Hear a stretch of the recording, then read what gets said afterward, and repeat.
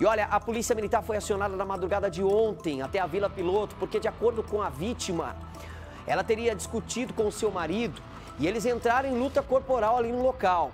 O homem e a mulher em luta corporal, uma briga generalizada. O homem ele estava com uma faca e ele disse que iria dar um tiro nela.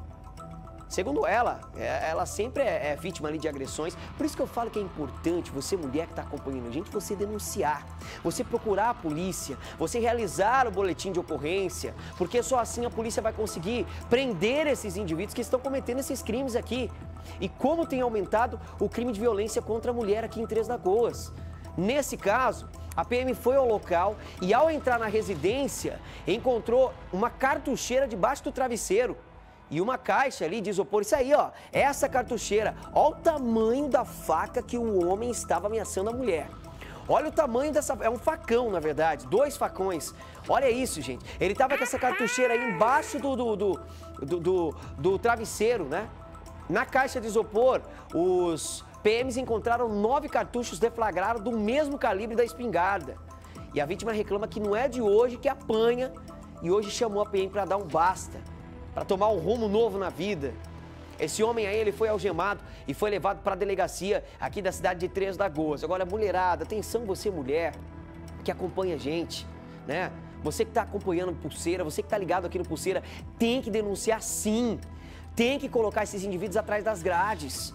Porque homem que bate em mulher não deve ser chamado nem de marido, não deve ser chamado nem de ex-marido, de filho, de filho. Não deve ser chamado porque é um crápula.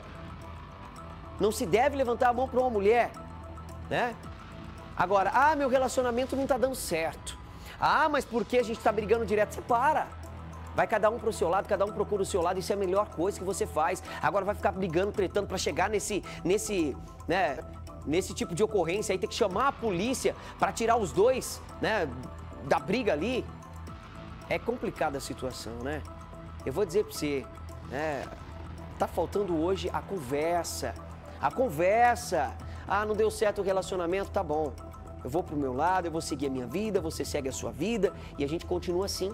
Nós continuamos assim, né? De repente tem vínculo ainda, porque se tiver filho, o vínculo ele é eterno. Não adianta você falar que você não tem vínculo, porque se tem o filho, né? Filho seu e dela, ou dela e dele, enfim, tem que ter o vínculo, tem que ter o contato, infelizmente ou felizmente, né? Mas tem que ter a conversa, o diálogo. Não deu certo? Vai na justiça. A justiça resolve. A justiça está aí para isso, para resolver esses casos. Agora, partir para agressão, partir com um facão, tentando dar uma facãozada na mulher ou tentando bater, na... aí é complicada a situação, né? Gente, vamos ter consciência, né? Complicado.